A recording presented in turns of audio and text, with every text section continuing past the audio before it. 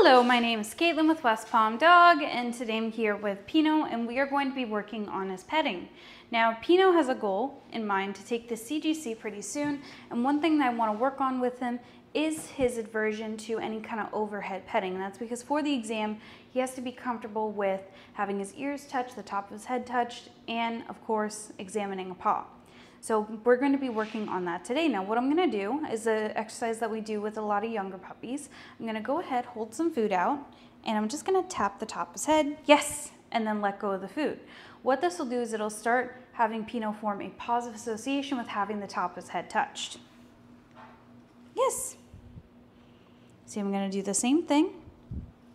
Yes, a couple times. Yes.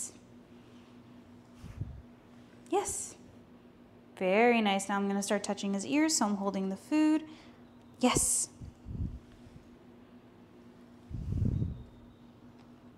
Yes. Very nice. Touch his other ear. Yes. All right, now we're going to go ahead and try touching a paw. Yes. Very nice. And you see by using the food, Pinot's more focused on the food and we're able to complete our exam without him turning away, without him bouncing back. Okay? Which is very nice because for the CGC, I really want to make sure that he's going to hold his position while someone's performing the exam on him. Yes. All right, one more time. Yes.